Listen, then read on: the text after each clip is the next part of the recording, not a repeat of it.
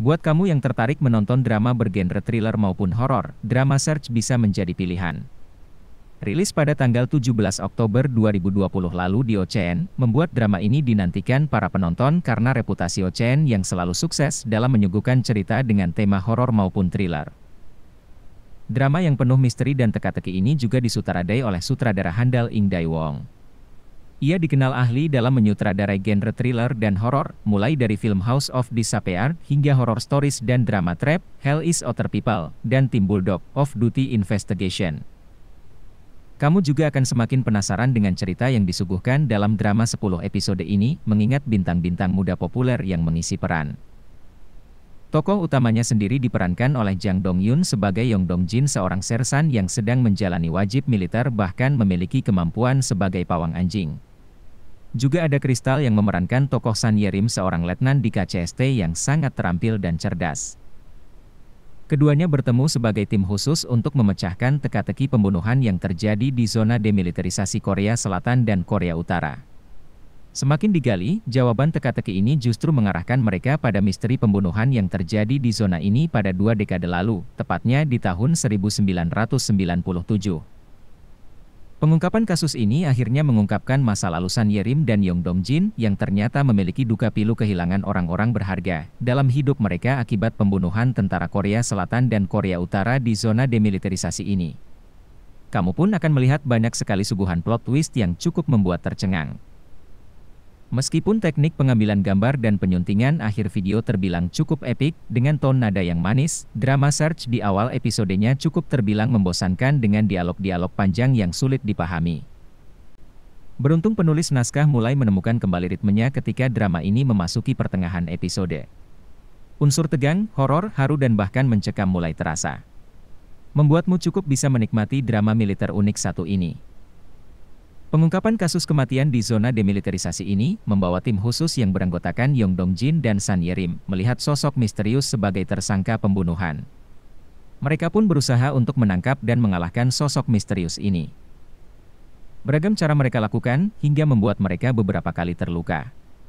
Bahkan Yong Dong Jin kehilangan anjing militer kesayangannya saat penyelidikan dan juga sahabatnya di kamp militer oleh keganasan monster tersebut. Lika-liku dalam menghadapi kasus ini membuat mereka bersatu dan mencari cara terbaik untuk menangkap monster. Tak jarang mereka menemui kesulitan, apalagi di zona ini terdapat banyak warga sipil yang harus dilindungi dan diselamatkan. Melihat kisah dalam drama ini kamu akan belajar bagaimana peran militer yang sangat luar biasa dalam menjaga keamanan dan kenyamanan warga sipil. Meski begitu kamu juga akan melihat tujuan licik dari beberapa oknum yang mencoba mencapai tujuannya dengan beragam macam cara yang justru menyulitkan orang lain di sekitarnya. Melibatkan sosok monster, drama ini akan memperlihatkan kepadamu seorang manusia bisa menjadi monster. Monster yang bersemayam dalam tubuh manusia akibat ketamakan dan kerasukannya pada dunia. Hingga tak jarang tanpa sadar benih-benih jiwa monster itu tumbuh dalam diri kita, dan merenggut semua logika kita akan cinta kasih kepada manusia. Di beberapa episode terakhir kamu akan melihat monster dalam tubuh manusia ini kehilangan anak yang disayangi, hingga ia tega membunuh sahabatnya yang berusaha mengungkapkan kebenaran pembunuhan di zona demilitarisasi tahun 1997 silam. Tentu karena ketamakan dan kerasukan ia rela melakukan berbagai cara, dan justru tanpa sadar kehilangan sosok orang-orang yang dicintainya. Dalam drama yang masing-masing episodenya berdurasi satu jam ini, akan ada sosok monster berhati baik. Monster yang dahulu adalah anggota militer ini dibunuh dalam konflik tahun 1997 lalu dan berhasil selamat karena keajaiban sebuah ramuan yang dibuat oleh anggota militer Korea Selatan. Meski berhasil selamat, anggota militer ini berubah menjadi monster. Namun justru sebaliknya, monster satu ini berhati baik. Ia bahkan menyelamatkan seorang gadis kecil yang tersesat di hutan, yang hampir membuat seluruh militer di sekitar zona demilitarisasi tersebut salah paham dengan keberadaannya.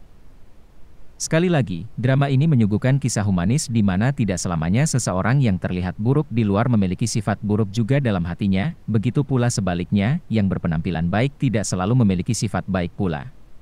Sosok monster ini mengajarkan arti penting nilai cinta kasih yang harus ditunjukkan semua orang dalam dirinya.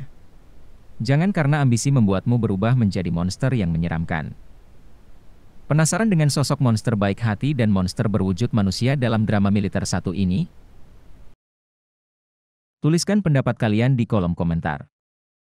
Terima kasih telah menonton video ini, klik tombol subscribe sebagai bentuk dukungan untuk channel ini, dan tonton video kita yang lainnya.